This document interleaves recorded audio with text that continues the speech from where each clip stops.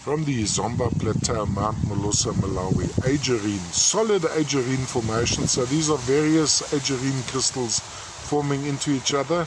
Little bit of feldspar sitting across the top. Now let's first of all have a, a view like this. So if you have it on a turntable going around like this, this would be your display. Have a look at the reflections.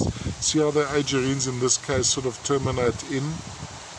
Go across there, crystallization across that side. Now we're going across the top. Let's have a look at the crystallization here. Intact on this termination. Little feldspar sitting on that termination. We go across the side. Some more crystallization happening here. Those, of course, jutted out from the side of the crystal. And then you got the what I've been using as a base. That too is crystalline, as you can see here.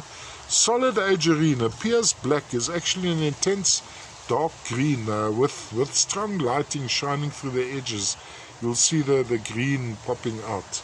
All the way from the Zomba Plateau, Mount Malosa, Malawi. This could very well be a floater. Uh, maybe it was sitting on matrix over here, maybe a little bit of the feldspar matrix. Uh, Size-wise, we're looking at, well, probably just over 2 inches edge to edge. Lovely crystallization as well, very reminiscent of aegirine, or very typical of aegirine. The one form, and then you get the other form which is almost little thin blades going to the front. We always say it's the same mineral, most likely two different minerals, but it's 2023 now. Let's see what we come up with in the future.